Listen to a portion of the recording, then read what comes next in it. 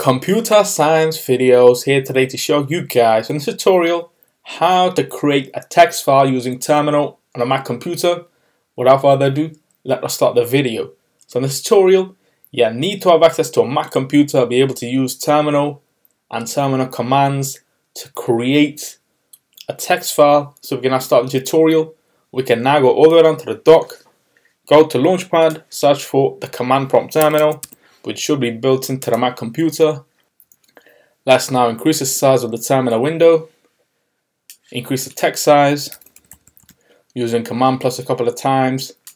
Now, before we create the text file that we wish to create and then use, let's now navigate to the desktop, CD desktop, ls minus l to view everything on the same line as we change directory. Now, this is the most important part of the video, how to create a text file. How do we do it? The alternative method without using terminal or commands is to go all the way down to the dock, go to Launchpad, search for your favorite text editor, and then we can create the text file from there However, in this tutorial, the command to do that is touch and then the name of the text file we wish to create. Let's just call it file.txt. Enter and there we see file.txt has now been created on the desktop what we can do is open that text file if we wish to, or we can open that inside the terminal command prompt. So,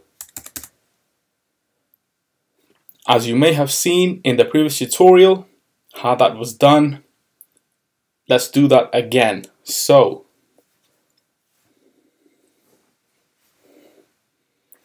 using the nano command nano file tab enter and there we are inside the text file using the command prompt. So let's just type something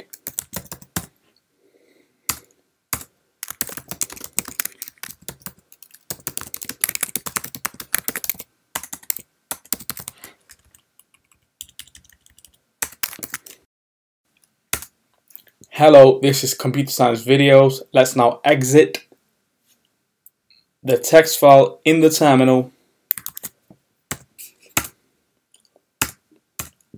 Use the cat command to view the contents of the text file in terminal.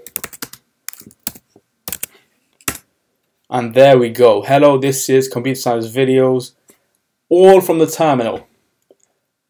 Just to recap, we changed directory to the desktop and listed everything on screen and then we used the touch command to create file.txt then we used nano to add content to the file.txt and finally the cat command to view everything on screen. So we can now clear the terminal cd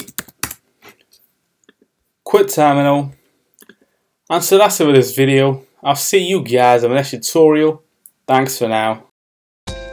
Thank you for making it towards the end of the video. Be sure to subscribe to my channel, Computer Science Videos. Be sure to check out the previous video on screen now, or you can ideally click on the playlist and watch all the journey for computer science videos from the start until now.